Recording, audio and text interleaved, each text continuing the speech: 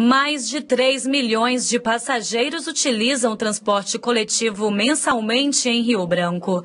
As queixas dos usuários ao serviço são sempre as mesmas: veículos danificados, tarifas caras, atrasos e superlotação. A gente espera mais de uma hora porque quando o ônibus passa a primeira vez, demora bastante para a gente pegar ele outra vez. Acho que deveria melhorar a questão da da fila de ônibus, da demora. Que a gente, quando, principalmente quando a gente vai voltando para o trabalho, né? Que a gente passa o dia trabalhando e cansado, e você só chega numa parada de onde pegar um ônibus e é uma fila enorme, né? Para discutir assuntos relacionados a melhorias no transporte coletivo urbano, uma sessão especial foi realizada na Câmara Municipal de Rio Branco.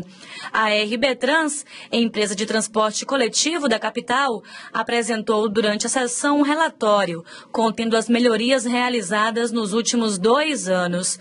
O objetivo é garantir a permanência da isenção do imposto de serviços sobre qualquer natureza, o ISS. Nós precisamos saber o que a população quer saber. É sobre por que, que essa tarifa ficou tão cara, com um serviço tão ruim.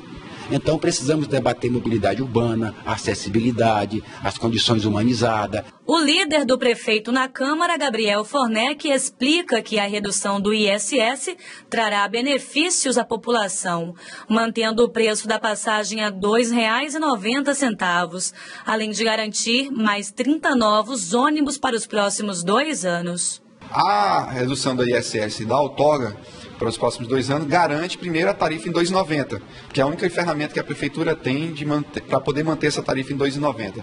É, nós estamos é, avaliando essa situação e esperamos que possa ser aprovada.